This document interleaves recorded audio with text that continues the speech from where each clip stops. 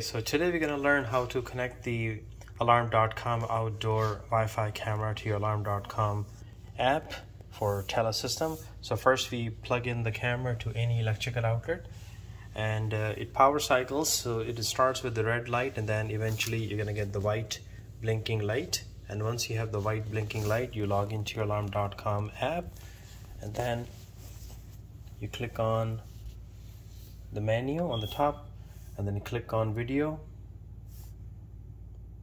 and then you click on the gear sign and then you, we're to click on add video device. Okay so if if you have some cameras installed previously your cameras will appear here we are doing a fresh install so we're to click on install another video device. So for outdoor cameras we have this model and this model so right now we're working on this one so you can choose ADC V723 and then now the app is showing us that we have to make sure that we have a white blinking light and which we do.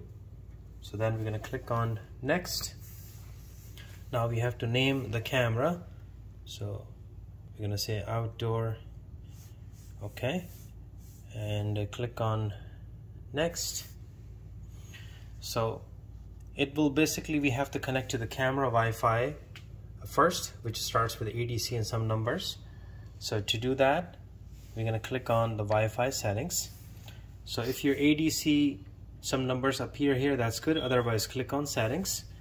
And then it will show you your home Wi-Fi as well as your camera Wi-Fi. So you're going to click on the camera Wi-Fi ADC and make sure that it shows connected or sign in option so once you have that one so we're going to click arrow back and now it's showing us the home Wi-Fi. So your home Wi-Fi will appear here. So all you do just you can copy the settings so click on it.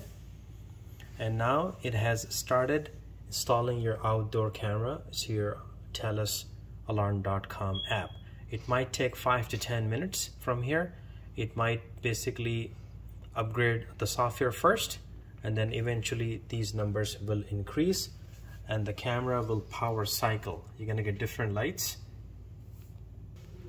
So we are at 54% and then the, now the camera is blinking red light which is fine.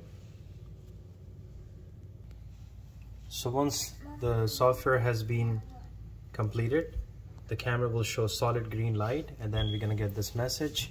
So click on next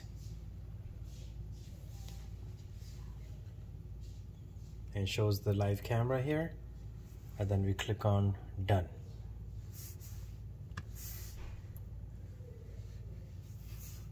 And click X go back go back.